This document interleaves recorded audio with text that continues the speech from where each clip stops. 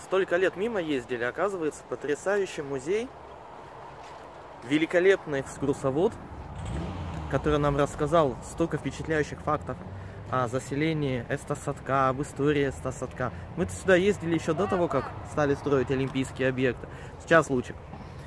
И место, конечно, замечательное. Вот кусочек истории начала 20 века. В одном здании концентрация, ну, поражает.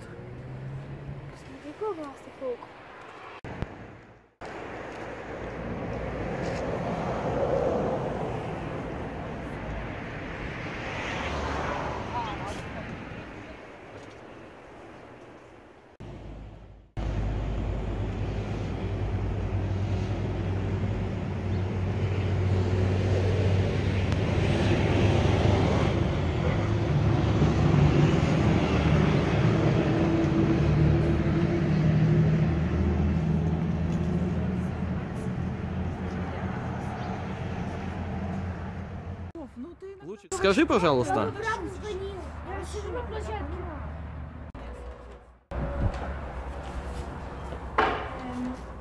заходи. Здравствуйте. Здравствуйте.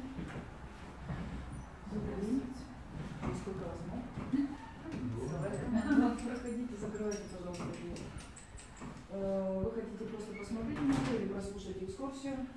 Мы рассказываем о классике эстонской литературы, который жил в этом доме в 1912 году. Рассказываем об истории села Садок, 135-летнюю историю нашего села. На всякий случай, в 2012 году, с мая по октябрь месяц, так была примерно обстановка того периода. Она проходная? Ну да, на улицу как раз дверь выходит на крылечко. Так что ему не надо было через дом, э, ну как проходная, не проходная, наоборот, был, что не надо было через весь э, А. дом проходить. Дверь была сразу вот на крылечко. Э, она такая летняя комната, потому что кухонная зона была здесь, с печью, э, с этой стороны, а у него такая летняя комната, остальные кладки выходят во все остальные комнаты, и вот так вот согревали. Здесь топили, а кладка выходит во Да, все, она еще остальные три комнаты получается. Каждое утро хозяйка дома ставила на подоконник парное молоко, угощение каштановым медом. Антон Хансен до нарзановых источников, наслаждался природой Кавказа. Он пишет, я бы позавидовал этим людям, которые здесь живут, если бы сам не увидел все своими глазами. Так он был очарован теперь уже красотой этих гор кавказских наших, вот этой красотой. Еще пять эстонских поселений. Сальме, Сулева, Верхняя, Нижняя Линда, Эстонка под Сухуми. Но там я называю короткий путь заселения. При царе конкретно выделяли земли, как на побережье, так и здесь в горах после окончания Большой Кавказской войны. Царь Абхазию начала говорить. Это сборный струнно-духовой орке- оркестр эстонцев Кавказа э, в 1914 году. Это в каждом селе был свой струнно-духовой оркестр, а наш хор с нашего села занял второе место на том празднике. Так что вот этот, эта фотография, такая сборный струнно-духовой оркестр. Со всех сел собраны. Здесь вы видите крыльцо этого дома в 1912 году. Вход был вот с этой стороны, потому что сейчас вы зашли с этой стороны. Антон Хансен шезлонги здесь сидит на крыльце этого дома. Хозяйка дома Анна Варман здесь присутствует. А фотография получилась День Кристин в семье преподавателей Киркманов, которые на тот период уже преподавали нашей первой четырехлетней школе. Вот верхняя фотография. Еще, наверное, нет. Лучик еще нет. А? А Эстония на тот период была эстлянской губернией России. Отменив крепостное право, люди хотели получить свой клочок земли, или выкупить, или арендовать. На что не было, конечно, ни средств, ни возможностей у основной массы населения. Но и вся земля в Эстонии на тот период была поделена между 20 лет как они вышли с исторической родины, 36 семей перешли через перевал со стороны Ставрополя по горным тропам, пришли сюда и основали село Эстосадок. Эм, там, где трамплины у нас, есть такие места, как Каськова поляна, Ногиса, Обермана, Асмана поляна, все по фамилиям эстонцев, которые в этой местности жили. С этой стороны у нас э, Нахкуры, Томберги, Помберы. После революционного в этих паслах и в 50-е еще годы ходили с оленей кожи, со свиной кожи. Детям почему делали со свиной кожи? Потому что детская ножка растет, а оленя все-таки поймать нужно. А свиней тут было очень много, это была не проблема.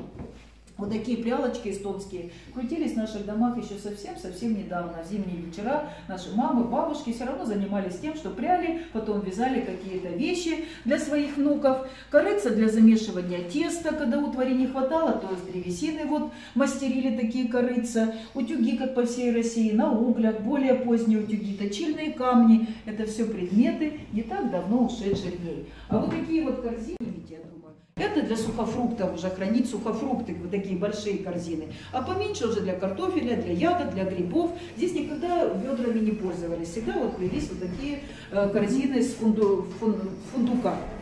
А, вот такой вот очень нужный предмет. Совсем недавно он еще был рабочим. Ровно выставляете, корзинку подставляете, сюда закидывается яблоко. Здесь деревяшка утеряна, толкаете деревяшку, выскакивает уже порезанное яблоко. Э, корзинка наполняется порезанными яблоками и на сушку. А сушка это несколько отсеков. В каждом отсеке несколько решеток. Высыпаются яблоки, груши, чернослив. Все сушится, перебирается. Ну вот мы перед самой Олимпиадой еще дома разобрали свою сушку. Отец сделал бездымную, чтобы канцерогенов не было, чтобы только тепло проходило. А былые времена, конечно, и дым проходил, и они такие душистые, дымные были все сухофрукты.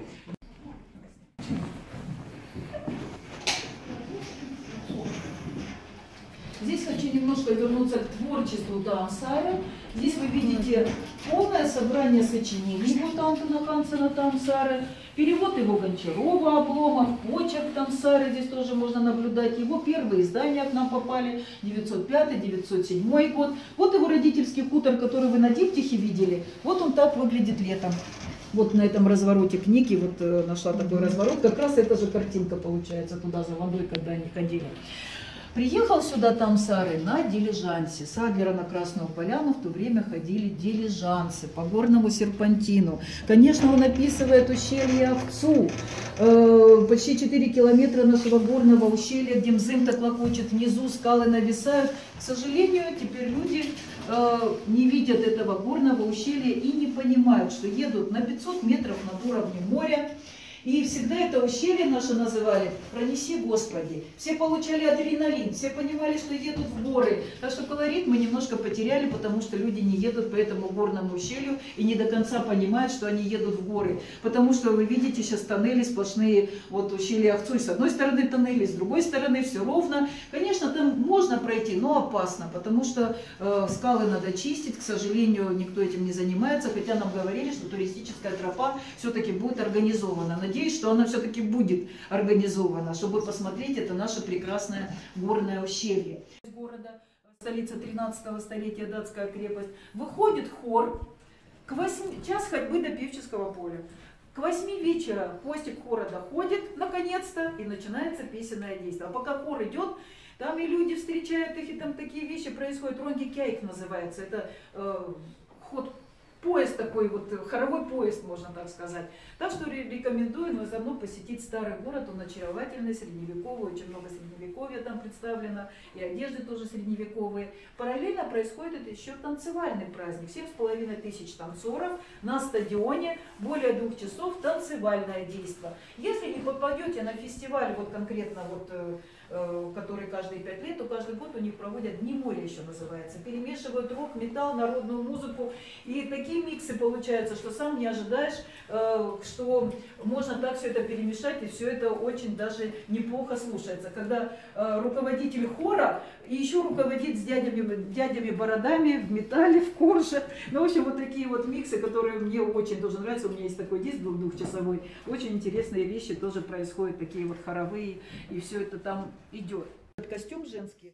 Э, спросили, что на следующий год привезти. Я говорю, привезите мне эпос. Вот они на следующий год, когда приехали, Привезли, теперь есть переплет на эстонском и на русском языке этого эстонского эпоса. Это лично моей репродукции 56 -го года. У бабушки в шкафу было запрятано. Я всегда вытаскивала и сочиняла все его подвиги, подземные и надземные, как говорится. Ну, это воспоминания такие детства. Город Пярну, курортная столица Эстонии. Вот здесь вот вы видите как раз эти пляжи этого северного курортного города.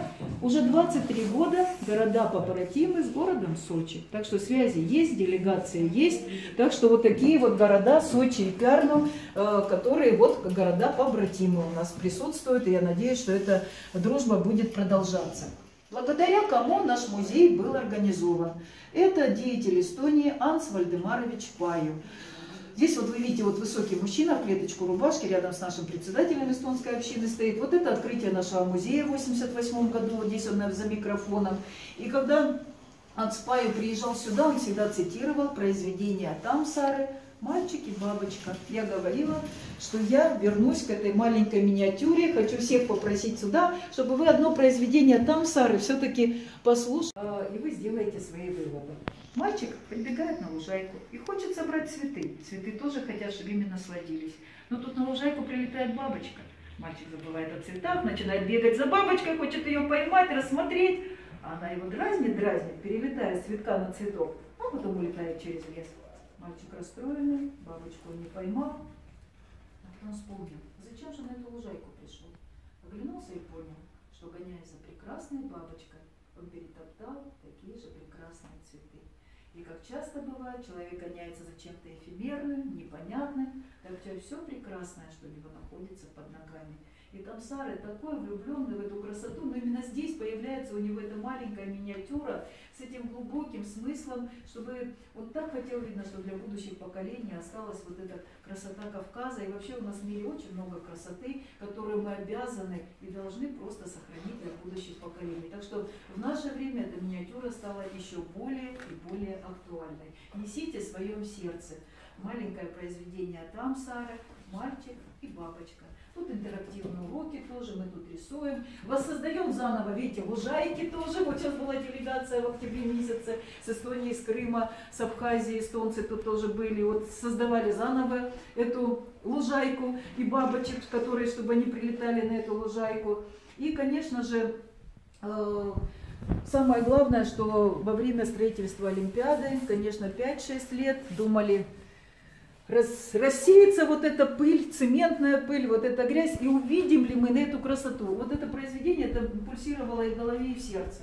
Так что даже неожиданно вот эти несколько лет вот это произведение до такой степени было актуально в нашей местности. Сочинское, Краснодарское телевидение снимали тут эти интерактивные уроки, эссе, сочинения на эту тему. Может, очень много людей переживало, чтобы это все еще осталось, и чтобы мы все видели эту нашу красоту.